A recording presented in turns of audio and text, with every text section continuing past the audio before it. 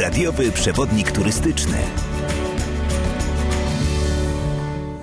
Dziś nieco później radiowy przewodnik turystyczny, a w studiu Radia Ołam FM kolejnego ślubu podróżniczej inspiracje, pan Igor Bartoszewicz. Witam panie Igorze. Dobry wieczór. Pan Igor Bartoszewicz oczywiście nie bez przyczyny studiu naszego radia, bowiem dziś o godzinie 19 mchu opowiadać będzie o zupełnym zupełnie może innym rodzaju turystyki. Jest to nurkowanie. Tak, to jest taki pewien rodzaj turystyki, który ostatnio się bardzo mocno rozwija, ponieważ nurkowanie stało się coraz bardziej dostępne. Jest zasadnicza różnica tym, co było kiedyś, nie wiem, jak ja zaczynałem, że Mhm. trzeba było przez całą zimę chodzić na basen, potem trzeba było pojechać na dwutygodniowy obóz i dopiero wtedy otrzymywało się uprawnienia. W tej chwili można to zrobić znacznie prościej, e, znacznie łatwiej. Co prawda otrzymuje się inne uprawnienia, ale one pozwalają zazwyczaj nurkować na całym świecie do 18 czy tam do 20 metrów. Nim do tego przejdziemy, chciałabym y, podpytać pana o to, skąd u pana pomysł na nurkowanie, tak? Bo nie wzięło się to y, raczej znikąd. Znaczy to jest zupełny, ja nie wiem czy przypadek. Ja się przez każde wakacje spędzałem e, w takim domku nad jeziorem. E, Miałem to szczęście akurat być do chyba 14 roku życia w tym domku i każde wakacje tam spędzać. No i na początku stwierdziłem, że dużo łatwiej jest e, zanurzyć się i wziąć oddech niż pływać po powierzchni. Po prostu to pływanie sprawiało problem i jeszcze jak udało mi się dostać płetwy, to było naprawdę fajnie pooglądać ten świat pod wodą. No to chyba czyste jezioro było, co? Wtedy większość była czysta. No teraz niestety do końca tak nie jest. Y, No ale dobrze, nurkowanie. Nurkuje pan, ale nie tylko w Polsce, prawda? Znaczy, no, nurkujemy na całym świecie, e, nie tylko w morzach, nie tylko w jeziorach, nie tylko w rzekach, ale również w kopalniach, jaskiniach. Wobec czego tak naprawdę, e, gdzie człowiek się nie obróci, tam jest jakiś akwen do tego, żeby zanurkować. No i teraz kwestia, co nam się będzie podobało, i jak bardzo, jak głęboko można powiedzieć, w to wejdziemy. Na początku, jak e, będziemy się uczyć nurkować, to pierwszy osobnik, który może zacząć nurkować, to jest taki, który ma 10 lat. Właściwie nawet 9, 8, ale to wtedy tylko ograniczamy do basenu.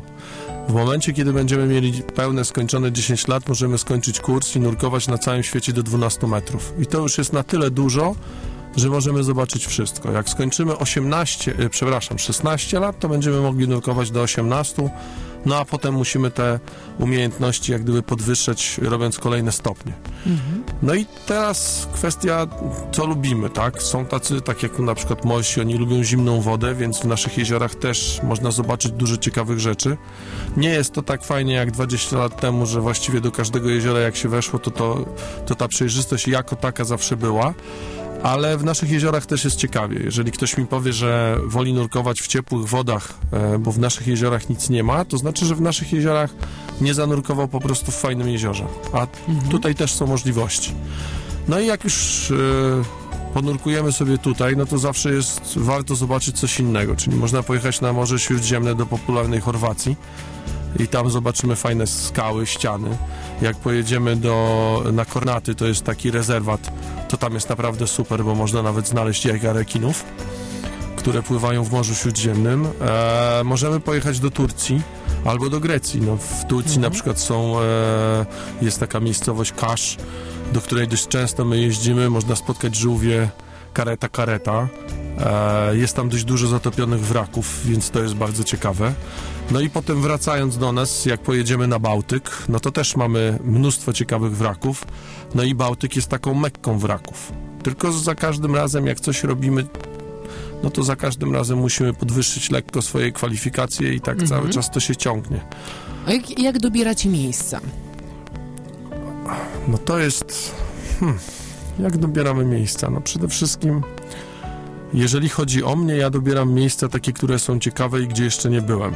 Ponieważ e, akurat prowadzę centrum nurkowe, no to część e, wycieczek, które robimy, dobieramy pod względem takim, e, żeby ludzie, którzy mają jakiś poziom wyszkolenia, żeby to było do nich pasowało, żeby mogli też coś zobaczyć, tak? Bo w momencie, kiedy byśmy pojechali nie wiem, na Malin Head do Irlandii, gdzie są wraki na 70 metrach, no to nie weźmiemy tam e, tak zwanych open water diver, prawda? Ale jak pojedziemy na przykład do Dachab, z którego tam w czwartek wróciliśmy, czy też do Kasz, którym, o którym wcześniej mówiłem, no to tam już nawet taka osoba, która ma skończone 10 lat i chce ponurkować do 12 metrów, już znajdzie ciekawe rzeczy.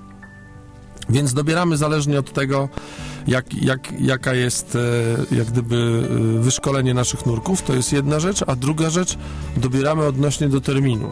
Dlatego, że tak jak, nie wiem, do Kasz warto pojechać od czerwca do października, e, albo do na przykład na Filipiny warto pojechać od listopada do mm, jakiegoś marca, kwietnia, bo wtedy jest na przykład nie wieje, nie ma monsunów czy tam tajfunów. Po prostu wybieramy wtedy, kiedy jest ładna przejrzystość, tak? Bo czasami jest tak, że y, patrzymy, że jest super oferta i można pojechać i naprawdę jest super, a okazuje się, że woda jest zimna albo jest mało przejrzysta, bo ciągle, ciągle są sztormy. No i tak to, tak to niestety wygląda. Więc dobieramy odnośnie tego, kiedy jest dobry termin, żeby pojechać i jaka jest grupa. Wspominał Pan o kilku miejscach, ale które miejsca szczególnie warto odwiedzić? Wszystkie.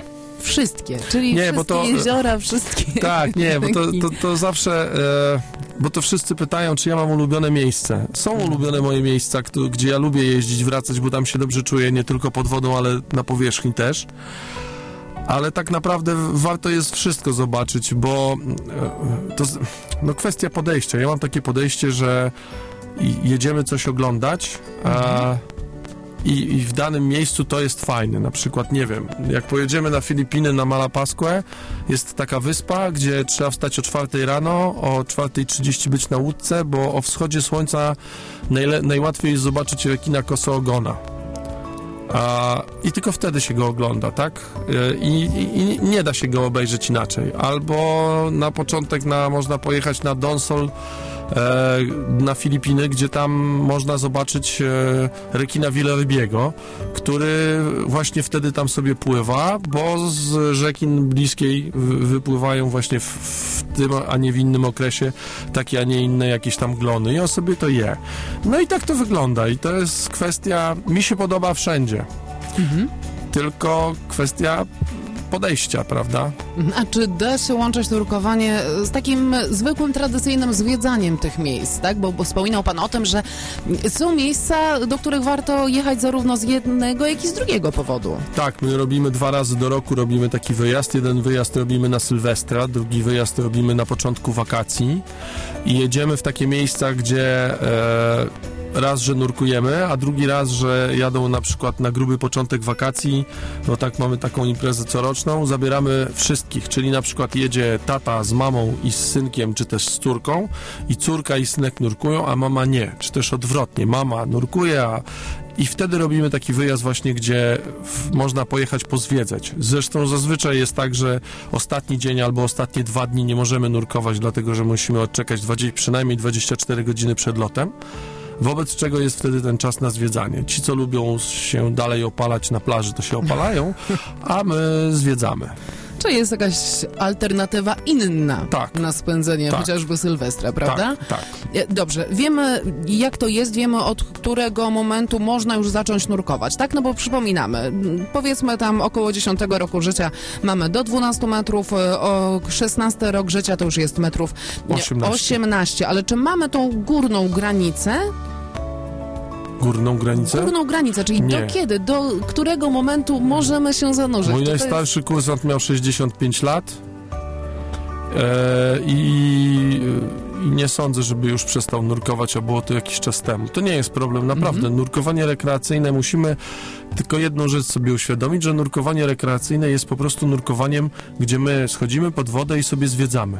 Czyli oglądamy jak w muzeum cały podwodny świat. Im lepiej e, udaje nam się zachować pływalność i mniej ruszać rączkami, tym więcej jesteśmy w stanie zobaczyć. Zatem e, krótko, dlaczego warto nurkować?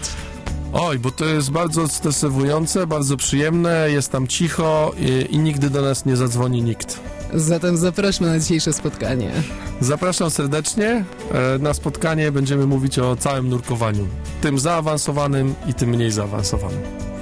O zwiedzaniu podwodnym. Dziś nurkowanie, turystyka zaawansowana. Igor Bartoszewicz. Przypominam, mech, godzina 19. No warto się wybrać. Drodzy słuchacze, warto się wybrać, posłuchać, a może ktoś z Was nie zachęci się do tego, by jednak w ten sposób spędzać wolny czas. Przynajmniej mam taką nadzieję.